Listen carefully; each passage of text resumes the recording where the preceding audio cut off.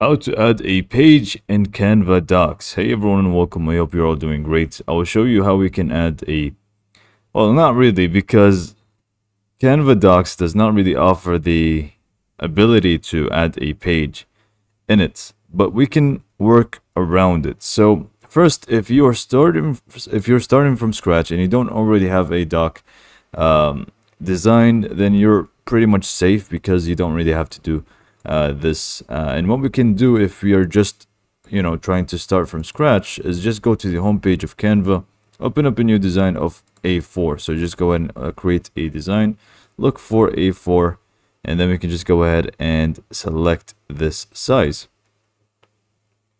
And then we can just go ahead and start editing our design easily. We can just go ahead and add some text, for example, as a heading. Um, this is a heading okay. And then we can just go ahead and adjust it accordingly and work our way through it as you would. And then if you want to add another page you just basically click on add page at the bottom and another time. And you can just simply keep adding pages here and adjusting them accordingly. And you are pretty much done here. But let's say you already did spend a lot of time on docs uh, and then you found out that you can't really add pages, what do you do in that situation? Well, we can just go ahead and go to uh, our Canva designs here, projects, and let's just go ahead and open up the doc that I have. Um, this one right here. So this is a doc, and you can see we cannot really add any pages. So we have this design, and we don't really want to lose all of this progress. So what do we do? We just go ahead and open up the share button on the top right and then you would want to just download it as a PDF. So just go ahead and select PDF standard and download the file. Now once it's done, we can just go ahead and again just go to Canva homepage.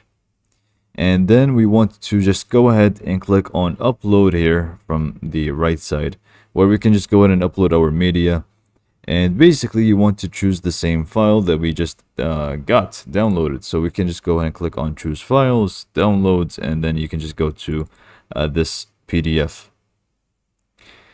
and once it actually loads in we can actually see uh, and I mean open it up and we can already see the difference between the two. Here we don't really have anything at the bottom right but here you could say you could see that we have one of two pages because it's long enough to include two pages. So if we just open it up, we can actually see that we have page one and then here page number two. So we can just simply zoom in and start adjusting them accordingly. So if you want to move stuff from page one to page two, you can simply do so. If you want to adjust stuff uh, from only page one, you can also do so. It's completely up to you. So this way you don't really lose your design and you can just go ahead and continue designing from this section onwards. And if you want to add a new page, you can just simply scroll down and add a page from here or you can just do it from this top corner. So this is pretty much all we can do for the time being with Canva to add pages with docs. So hopefully you found this video to be helpful and thanks for watching.